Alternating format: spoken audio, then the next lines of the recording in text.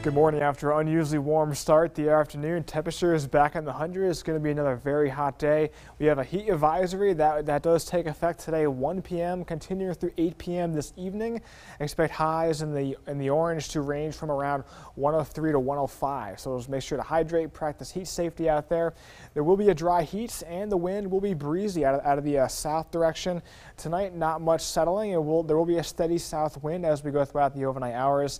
And because of that breeze and that dry air. Fire weather back in the forecast. We have a fire weather warning that is in effect for Knox County from 12 p.m. through 9 p.m.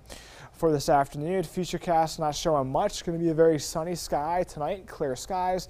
Wednesday will feature a few more clouds, but it will stay dry. For Abilene today, high around 104, sunny skies, hot breeze.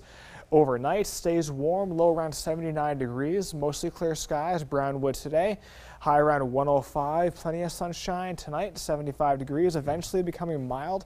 And here's the rest of that seven day forecast. The heat is going to hang on this week, going to be in the hundreds through Thursday, Friday, upper 90s. Chance for some rain Friday into Friday night. Could see a few thunderstorms too. Dries out this weekend and heats up as we head into next week.